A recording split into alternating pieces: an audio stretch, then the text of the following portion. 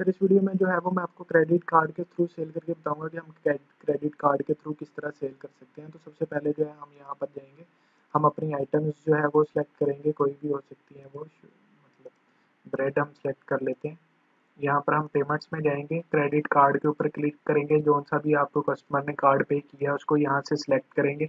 और यहाँ से हम जो है वो बिल्कुल टोटल अमाउंट क्योंकि क्रेडिट कार्ड के केस में हमको अमाउंट कम ज़्यादा नहीं पे कर सकते, वो ऑटो डिटेक्ट होती है तो वो कंप्लीट होगी। इसलिए यहाँ पर आप इसको कम ज़्यादा अमाउंट एग्जैक्ट अमाउंट जो है वो ही एंटर करेंगे। वो एंटर करके आप यहाँ पर क्लिक कर देंगे तो जो है वो ये पेमेंट ऐड हो जाएगी और आप इसको डन कर देंगे।